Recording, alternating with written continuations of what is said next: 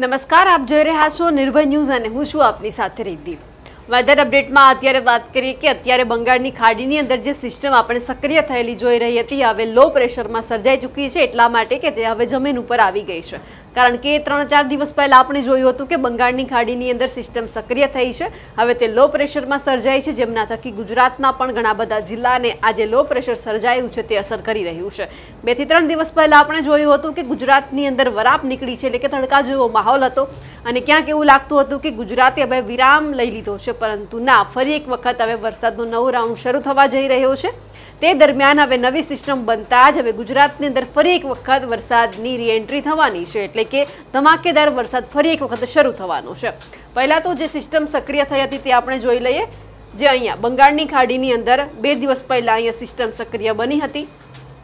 તે હવે ધીમે ધીમે સિસ્ટમ છે તે જમીન ઉપર આવી ગઈ છે, એટલે કે મધ્યપ્રદેશને અડીને આ સિસ્ટમ આપણને દેખાઈ રહી છે જે લો પ્રેશર હવે સર્જાયું છે. અહીંયા પહેલાં સાયક્લોનિક સર્ક્યુલેશનમાં હતું, સિસ્ટમ સક્રિય બની હતી જે હવે લો પ્રેશર સર્જાયું છે. અહીંયા આપણને મધ્યપ્રદેશની આજુબાજુ જે અહીંયા દેખાઈ રહ્યું છે, તે આપણે જોઈ લઈએ. ખાસ કરીને જે આપણે વાત કરી હતી કે બે દિવસ પહેલાં એટલે કે ગુજરાતની અંદર અત્યારે તડકા જેવો માહોલ હતો, જે કોઈ કારણસર આપણને દેખાતું હતું કે હવે વરસાદ જતો રહેશે. પરંતુ એવું ના બન્યું અને ગુજરાતની અંદર ફરી એક વખત મેઘાવી માહોલ છે તે સર્જાયો છે. ખાસ કરીને ગુજરાતની અંદર આજની શું પરિસ્થિતિ છે તે પહેલાં જોઈ લઈએ. કારણ કે ગુજરાતમાં પણ અત્યારે ઘણા બધા જિલ્લા એવા છે કે જ્યાં અત્યંત ભારે વરસાદની આગાહી કરવામાં આવી છે, જ્યાં ઓરેન્જ એલર્ટ આપવામાં આવ્યું છે. અને એ બધા વિસ્તારો એવા છે કે જ્યાં ફરી એક વખત વરસાદ શરૂ થશે. એટલે કે સૌરાષ્ટ્ર કચ્છને અત્યારે બાદ કરતાં ઘણા બધા વિસ્તારોની અંદર હવામાન વિભાગે આગાહી કરી છે મુજબ ત્યાં વરસાદ પડી રહ્યો છે. અત્યારે આપણે જોઈ રહ્યા છીએ કે ગ્વાલિયરની આજુબાજુ આ સિસ્ટમ સક્રિય થઈ છે. એ પહેલાં જોઈ લઈએ. જે ગ્વાલિયર છે તેમની આજુબાજુ આપણને જે આ લો પ્રેશર સર્જાયેલું દેખાઈ રહ્યું છે, અહીંયા બધા પવનો એકસાથે ભેગા થઈ રહ્યા છે, જે ક્યાંક ને ક્યાંક ગુજરાતને પણ અસર કરે છે, કારણ કે અરબસાગરમાંથી સીધા પવનો પણ આ ખેંચી રહ્યું છે, બંગાળની ખાડીના પણ પવનો અત્યારે ખેંચી રહ્યું છે. લો પ્રેશર સર્જાયું, જેમના થકી જે સીધું જ અહીંયા ઉત્તર ગુજરાતના વિસ્તાર, મધ્ય ગુજરાતના વિસ્તાર અને ખાસ કરીને દક્ષિણ ગુજરાતના વિસ્તારોનો પણ સમાવેશ થાય છે. ખાસ પહેલાં આપણે જે લો પ્રેશર સર્જાયું છે એ જોઈ લઈએ. જે અત્યારે ધીમે ધીમે ભેગું થઈ રહ્યું છે. આ લો પ્રેશર છે. એ એકથી બે દિવસની અંદર આપણને ડીપ ડિપ્રેશનમાં ફેરવાતું દેખાશે અને ખાસ કરીને અત્યારે જ્યારે ગુજરાતની પરિસ્થિતિ આપણે જોઈ રહ્યા છીએ, ત્યારે આપણને આ બધું જ ભેગું થયેલું દેખાઈ રહ્યું છે. અહીંયા ગ્વાલિયરની નજીકમાં જ્યાં સિસ્ટમ સક્રિય થઈ છે, એ ફરી એક વખત અત્યંત ભારે વરસાદ લાવી રહી છે. અત્યારે અરબ સાગરમાં કોઈ જેવી સિસ્ટમ નથી, પણ એમની સાથે ગુજરાતની અંદર કયા એવા જિલ્લામાં અત્યારે મેઘાવી માહોલ છે, તે પણ જોઈ લઈએ. આપણને અત્યારે સુરતના આજુબાજુના વિસ્તારોમાં વરસાદ દેખાઈ રહ્યો છે, બાકીના જે બોર્ડરના વિસ્તારો છે છોટા ઉદયપુર ડાંગ છે, નર્મદા, તાપી, આ બધા વિસ્તારોમાં વરસાદ છે. સુરત, નવસારી, ડાંગ, વલસાડ આ બધા જ વિસ્તારોમાં પણ આપણને ભારે વરસાદ દેખાઈ રહ્યો છે અને ખાસ કરીને જે અત્યારે ગુજરાતની ઉપર, એટલે કે ઝાંસી, કાનપુર, આગ્રા, ગ્વાલિયરની બાજુમાં જે સિસ્ટમ ધીમે ધીમે અત્યારે લો પ્રેશર બની રહ્યું છે, અહીંયા દેખાઈ રહ્યું છે, અરબ સાગરના સીધા જ પવનો છે તે. આ લો પ્રેશર ખેંચી રહ્યું છે. બંગાળની ખાડીના પણ આ બધા જ પવનો ફરી એક વખત રિવર્સ અહીંયા આવી રહ્યા છે, એટલે કે એક સાથે આખું આ લો પ્રેશર હવે સર્જાઈ રહ્યું છે, જે આપણને અહીંયા સ્પષ્ટ દેખાય છે. આ લો પ્રેશર થકી ગુજરાતની અંદર અત્યારે વરસાદ જે બોર્ડરના વિસ્તારો છે ત્યાં આવી રહ્યો છે. આજના દિવસ દરમિયાન આપણે એ જોઈ લઈએ કે હવામાન વિભાગે જે આગાહી કરી છે એ મુજબ ઘણા બધા વિસ્તાર એવા છે કે જ્યાં આગાહી કરવામાં આવી છે. તેમાં સૌથી વધારે જે દક્ષિણનો વિસ્તાર છે, મધ્ય ગુજરાતનો વિસ્તાર છે, તેમને અસર કરે છે. પહેલાં વલસાડની વાત કરી લઈએ કે જ્યાં ભારેથી અતિ ભારે વરસાદની સંભાવના વ્યક્ત કરવામાં આવી છે. વલસાડ, દાદરાનગર, હવેલી, દમણ, નવસારી, ડાંગ, તાપી, સુરત, ભરૂચ, નર્મદા, છોટાઉદેપુર અને દાહોદ. આ વિસ્તારોની અંદર ભારેથી અતિભારે વરસાદની સંભાવના વ્યક્ત કરવામાં આવી છે. એમની સાથે ભારે વરસાદની સંભાવનાવાળા વિસ્તાર જોઈ લઈએ. ઉત્તર ગુજરાતના બનાસકાંઠા, પાટણ, મહેસાણા, સાબરકાંઠા, અરવલ્લી, મહીસાગર, પંચમહાલ અને વડોદરા. આ વિસ્તારોની અંદર એટલે કે ઉત્તર ગુજરાતનું પટ્ટું છે, મધ્ય ગુજરાતના અમુક જ વિસ્તાર છે, બાકીનો દક્ષિણ ગુજરાત આખો છે કે જ્યાં ભારેથી અતિભારે વરસાદની સંભાવના વ્યક્ત કરવામાં આવી હોય. બાકી અત્યારે અમદાવાદ, ગાંધીનગર, ખેડા અને આણંદ અત્યારે કોરા દેખાઈ રહ્યા છે. બાકી કચ્છ અને સૌરાષ્ટ્રના બધા વિસ્તારોમાં અત્યારે આપણને કોઈ જ અત્યંત ભારે વરસાદની આગાહી નથી દેખાતી કે નથી વરસાદ પડતો દેખાતો.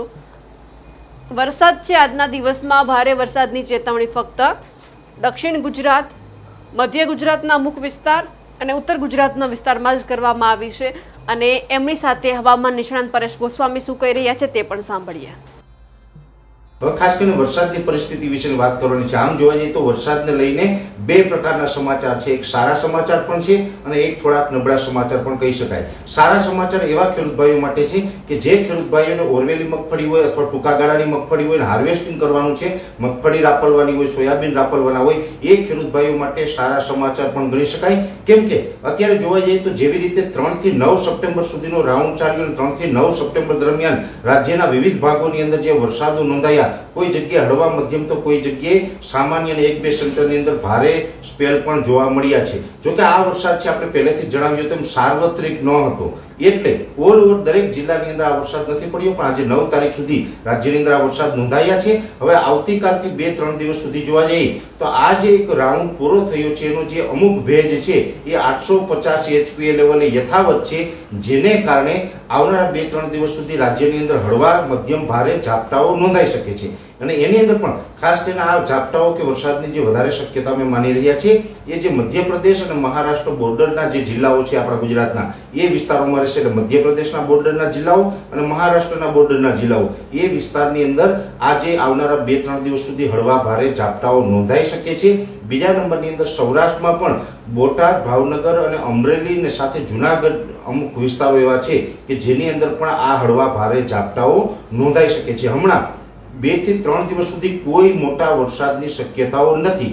એટલે ખાસ દરેક મિત્રોએ આ વસ્તુની નોંધ લેવાની છે. અને આમ જોવા જઈએ તો જે ખેડૂત ભાઈઓને અત્યારે પાક સુકાતો હોય અને પિયતની જરૂર હોય, તો બહુ વરસાદની રાહ ન જોવી, પિયત આપી દેવું એ જ ખેડૂતના હિતમાં રહેશે. કેમ કે જે અમે ઘણા સમયથી આપણે કહેતા હતા કે તેર ચૌદ તારીખ આસપાસ પણ એક બંગાળની ખાડીની સિસ્ટમ આવી રહી છે ને એને કારણે પણ રાજ્યમાં વરસાદ આવશે. પણ એ સિસ્ટમ છે એ થોડીક મધ્યપ્રદેશ સુધી આવી અને પછી ઉત્તર તરફ આગળ વધવાની છે.